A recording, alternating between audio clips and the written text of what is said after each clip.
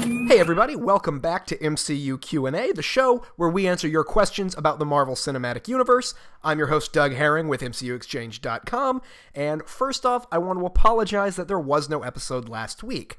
Uh, as you might have noticed, I'm not wearing glasses anymore, which is cool. Uh, I got some laser shot at my face, and now I can see. That's awesome. Uh, so that put me out of commission for the weekend, and I didn't have time to film. So uh, yeah, that's that's why there was no episode last week. Very sorry about that, but we are back on a normal schedule. So uh, without further ado, let's answer some questions. And please, if you have a question about the MCU, you can email them to me at doug at mcuexchange.com, or of course you can just jump down into the comments below and ask it there. Let's answer some questions. This question comes from Dylan QC, who says If Marvel and Fox were allowed to share Quicksilver because he relates to both, then by that logic, shouldn't Marvel be allowed to use Beast as well? Um, great question, and it's a very common one, but the answer is no. Um, there's a very common misconception about the way the rights work between studios, uh, which is that somehow whichever comic that somebody first appeared in determines where their rights will be, or uh, any character more associated with a certain group will determine where their which studio has their rights, and that's not the case. I mean, if it was, Marvel wouldn't have the rights to the Inhumans, uh, who first appeared in a Fantastic Four comic.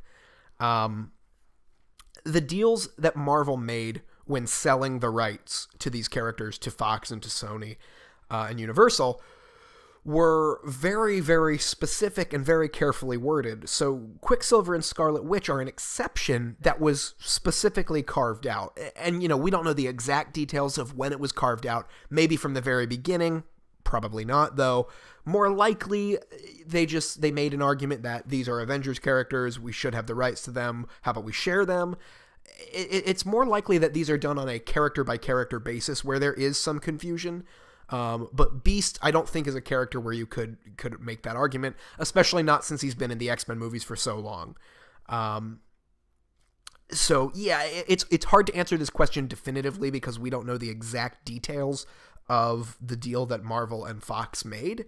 Um, but it's safe to assume that uh, it, it's very specific and, and targeted towards specific characters. They're not just general, you know, check this box if you want all X Men characters.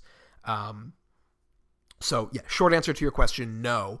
And if another character shows up in a Fox uh, or a Fantastic Four or X Men comic, it doesn't necessarily mean that Fox has the rights to them. Uh, but thanks for your question. Okay, uh, Pie Gaming Movie Reviews and More wants to know what are your San Diego Comic Con predictions? I really think that they'll come out with a Black Panther trailer and possibly a small Infinity War trailer uh, just to get the hype up, as well as a Thor Ragnarok trailer.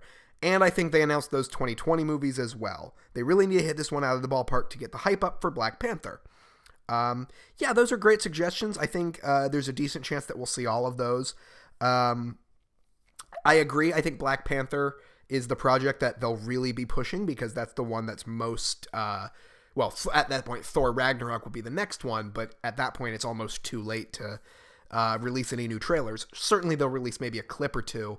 Um, but I, I, actually don't think that Ragnarok will be their main focus at Comic Con this year. I think it'll be Black Panther and Infinity War. Um, definitely a Black Panther trailer around July for Black Panther seems like the right time to get a trailer. So maybe that'll get released to the public, or if not, then maybe August or September we'll get our first trailer for Black Panther. I think there will be an Infinity War clip or teaser shown at Comic Con or D23. Uh, which remember, D23 this year is like a week before San Diego Comic Con. So there's a decent chance that there's going to be some overlap in what they show at both of those presentations. And if that's the case, the chances of any of it getting released to the public are basically zero.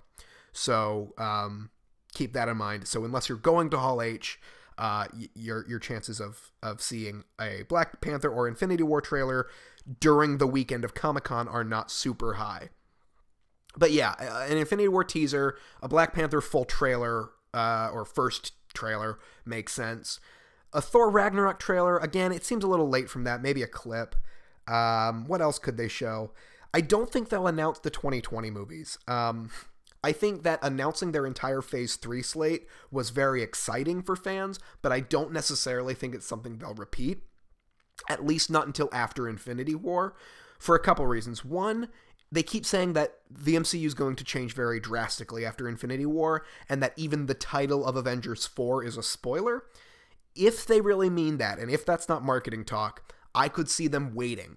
Because the other nice thing about Marvel is they don't need to do a year or two of marketing. They have built their brand name and their universe to the point where if they wanted to release a movie in May and announce it in April, it would still make hundreds of millions of dollars. So, uh, if they wanted to hold off on uh, naming the fourth Avengers movie until uh, May 2018. You know, make it until the post credit scene of Infinity War if they wanted to. I think that would be really, really cool and exciting to do. So I hope they do that. Um, as for announcing the the Phase Four slate, it ruins a lot of the surprises. I think you know. It was awesome knowing that a Black Panther movie was coming five years in advance, but on the other hand, you know, it told us a lot about who was going to survive what movie because sure there's Thor 3 and we know he's going to be in Infinity War so we know he survives that.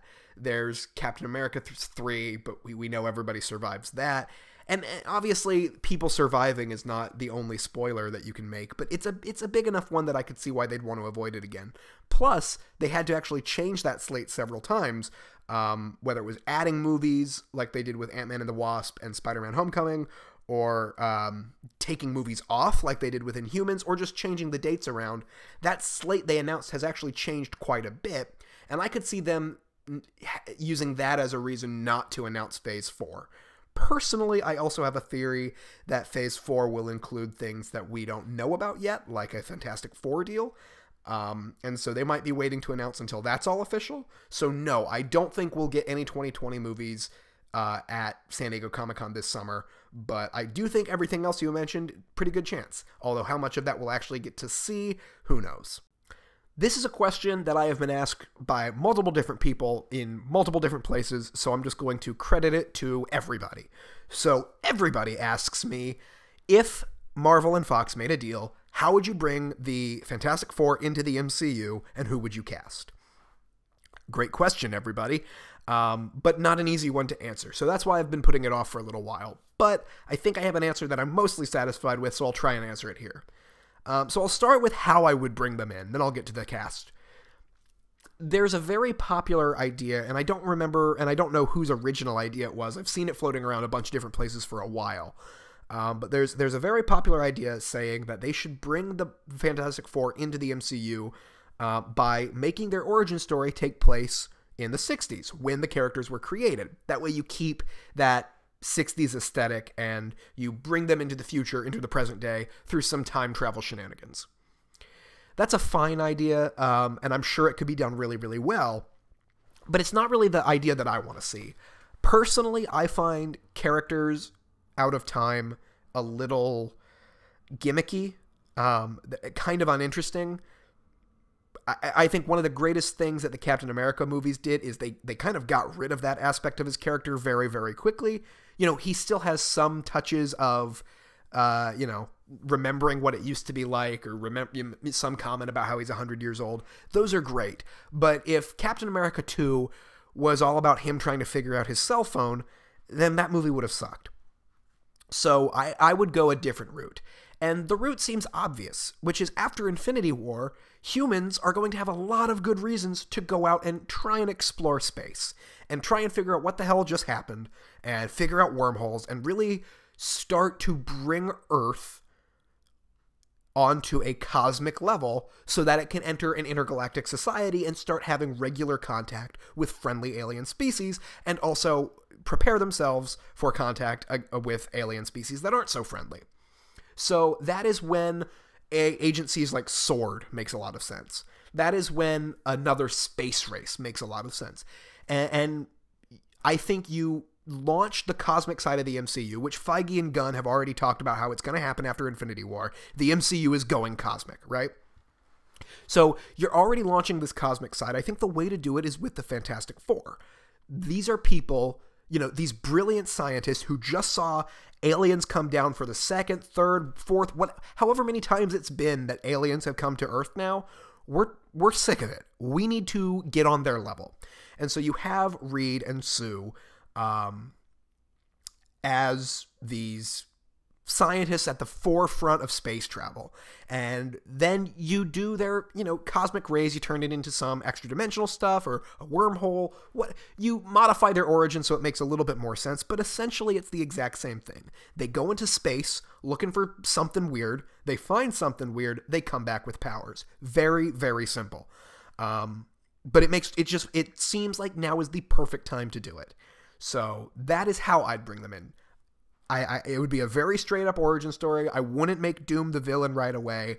Uh, I, I don't know who would be the villain for their first movie, but Doom would be introduced in the first movie and then would become the villain in the second or third, kind of like how they set up Mordo and Doctor Strange. I really like that.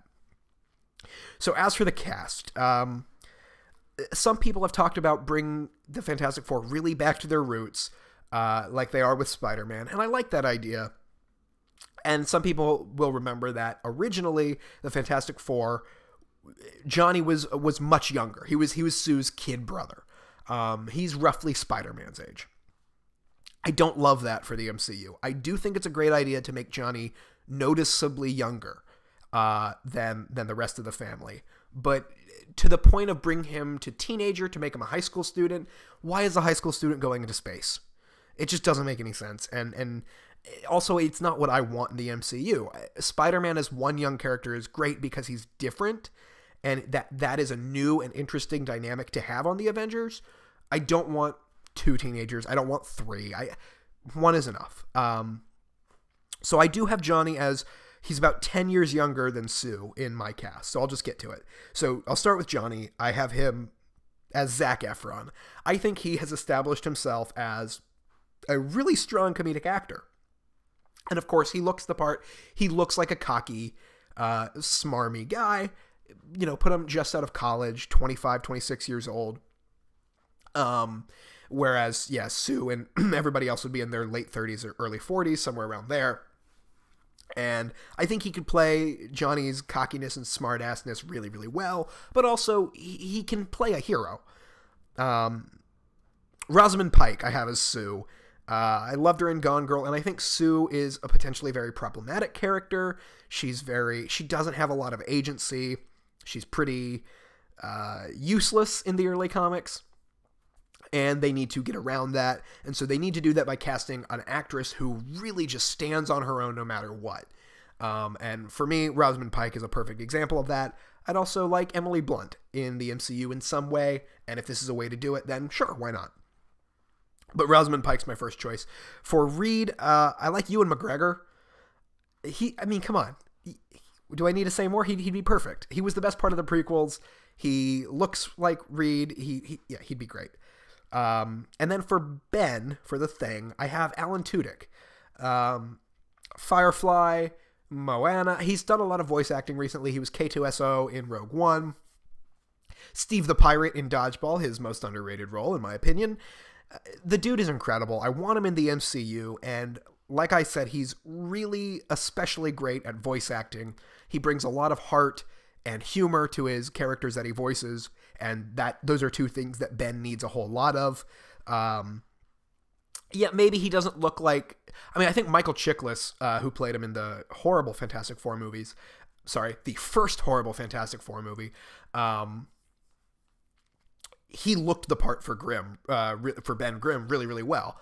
But I think that is so much less important than somebody who can do the do, bring uh, a lively voice acting job because you know the the plastic styrofoam suit that they used in that just didn't work. Obviously, thing is going to be mostly CGI and mocap, so really you're looking for a great voice actor.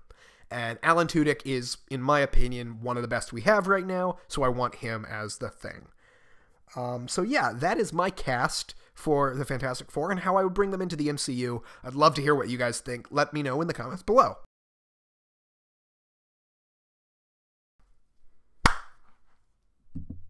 Okay, this question comes from Philip Wilson, who says If Agents of S.H.I.E.L.D. gets renewed for a fifth season, fingers crossed, what pod would you like to see them start off with? In my opinion, I think a Man Thing pod would be brilliant. It could continue the mystical themes that were introduced in the first half of this season while introducing a horror element. Completely agree. I'm not even going to try and suggest something else because Philip, I think you nailed it. Man Thing's a great character, Agents of S.H.I.E.L.D. is a great spot for him, and like you said, bringing more mystical stuff and horror stuff into Agents of S.H.I.E.L.D. lets it do something totally different. And what we've learned from season four is that S.H.I.E.L.D. is at, is at its best when it's doing something totally different. Ghost Rider was unlike anything else that we've had on Agents of S.H.I.E.L.D. It's also some of the weirdest stuff that we've gotten in the MCU. Um, same with the Darkhold, same with uh, the LMD arc, same with uh, this this framework, the, the, Agents of Hydra arc. The framework that we have alternate realities in the MCU now. Who would have thought we'd get introduced to that on Agents of Shield? Um, so I completely agree. What they're doing now, the direction they're going of getting really out there, really into the comic book stuff. I love it. Uh, that is what they need to be doing. So keep doing that. And yeah, Man Thing has already been mentioned on Agents of S.H.I.E.L.D. Uh, with, um, what's her face? Maria Hill saying in, I think, season one of Agents of S.H.I.E.L.D., or am I thinking of or is this Iron Man 3? No, it's a I don't remember. When she says she had to explain to Congress who or what is a man thing. Um, gosh, was that Agents of Shield or was that Iron Man? No, that was Agents of Shield, right? Doesn't matter. Um, correct me in the comments. I know I'm gonna be wrong. Uh, but anyway, when she says that, I think uh, Man Thing is is the obvious choice for for Agents of Shield season five. So yeah, perfect suggestion. I'm with you. Well, that's going to be it for this week's episode of MCU Q&A. As always, thank you so much for asking those questions, everybody, and keep the questions coming. Again, just comment below in the comments section, or you can email them to me at doug at mcuexchange.com. Make sure you're following us on Facebook and Twitter, and subscribe to us on YouTube. Like the video, do all that fun social media stuff. I don't have to tell you. Please do it. It really helps us out. Uh, so, yeah, we'll see you next week.